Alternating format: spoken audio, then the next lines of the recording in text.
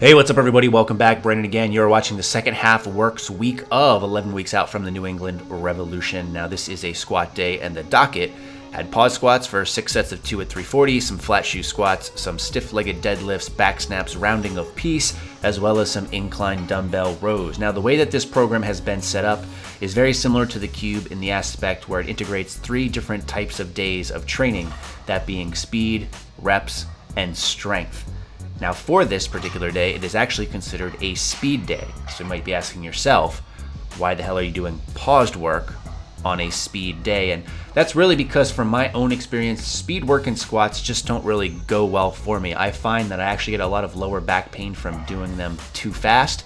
And I'm very slow and methodical when it comes to squatting in both my form and just how I perform better at this. So what I've started to do instead because the actual percentage is very similar to what I'd use on a speed day is I've been doing pause squats. So I'll go into the hole and pause for a few seconds depending on how I feel. Sometimes the hole feels really good, sometimes I just want to get in and get out. But then I'll try to explode up out of the hole.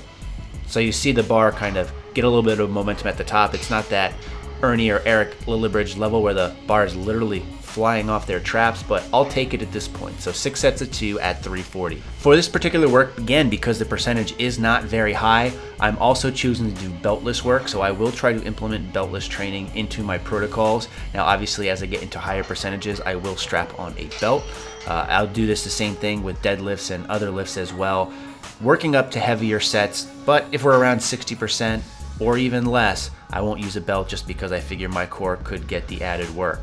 So here I'm just showing you a couple of different angles. I'm also using those SBD wrist wraps that I got in the other day. Again, these are the flexible versions. They have told me they're sending me the stiff versions as well. I'm thinking I'll probably do a review on these in the next couple of days, so expect that video very soon. I will also try to compare them a little bit to the Gangsta Wraps because as you guys probably know, those are my preferred wraps. Unless we're talking sandwiches, in which case that's a whole different discussion.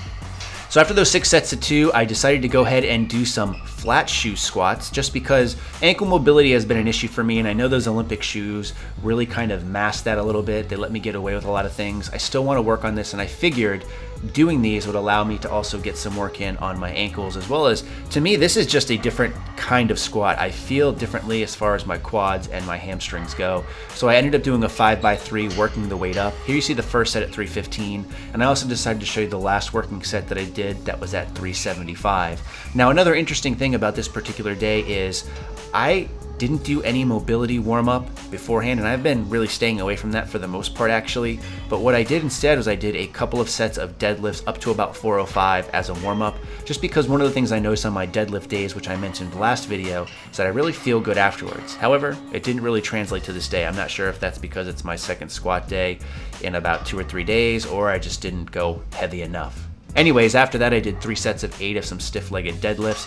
And I know there's some back rounding here. I have no issue with it. Number one, because the weight is fairly light. And number two, for stiff-legged deadlifts, I usually find that you will have some back rounding on here. I'm really just trying to focus on getting a good stretch in my hamstrings, and this weight isn't anything overly heavy that's gonna snap my shit up, so to say. From there, we did four sets of 12 with 85 pound dumbbells, of just these incline dumbbell rows. So again, trying to get some of that pulling movement in. And towards the fourth set of these, I was toast. But again, if you want to find out more detailed information on any of these workouts, follow me in Fitocracy. It's always linked in the description box below. And that wraps up that particular day. Which brings us on to the next day, which means it's time for my second bench day of the week. So right now I'm benching on Tuesdays and Fridays. And my goal here is to do what I did on Tuesday in a similar way. But if I did pauses on Tuesday, I'm gonna prioritize touch and go. So touch and go, three by three to start, but then as I got into it, I decided to go ahead and implement some pause work as assistance exercises.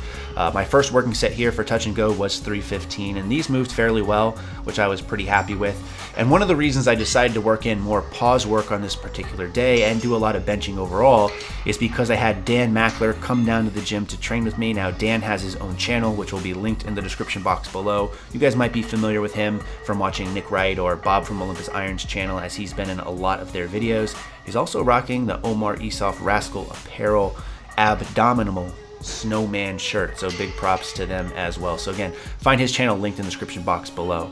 So for my next working set, I decided to go for 320, so just a little bit more weight, bumping it up.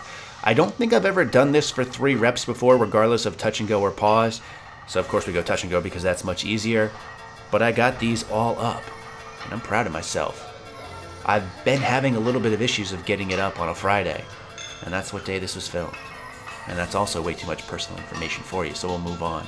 So here's Dan's main work. He had a couple of sets of 245 paused, six reps per set. I've also been trying to convince him to go to the meet with me on March 28th and 29th. He's thinking about doing it, but he also coaches a couple of bikini competitors. It's a lot better than I could say for myself, who are competing on that weekend, so he's not sure he's going to have time to do both, dedicate to them as well as be able to come into the meet as strong as he'd like. So my next set is 325 again. This would be a PR potentially for me going for three.